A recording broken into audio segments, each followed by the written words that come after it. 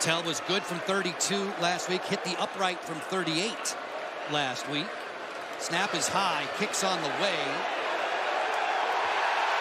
And good. 43 yard attempt. The kick on the way. The students roar as it splits the uprights.